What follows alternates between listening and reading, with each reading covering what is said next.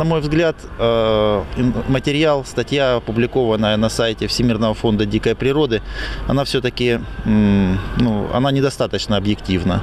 Он будет нападать, но в умеренной степени, скажем так.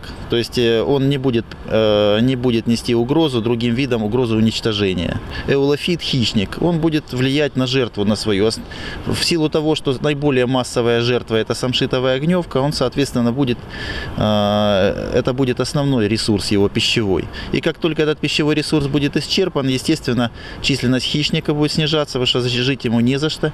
Э, и таким образом ну, наступит определенное биологическое равновесие, в результате которого, в общем-то, сохранятся все виды. Напомню, в конце марта в Самшитовые леса Сочинского нацпарка и Кавказского заповедника был выпущен первый миллион личинок китайского эулофида. Предполагается, что это насекомое, откладывающее личинки в куколки бабочек, истребит огневку. Она предположительно была завезена в Сочи вместе с посадочным материалом в ходе подготовки к Олимпиаде. За два года огневка уничтожила сотни гектаров самшита, редкого вида растений, занесенного в Красную книгу.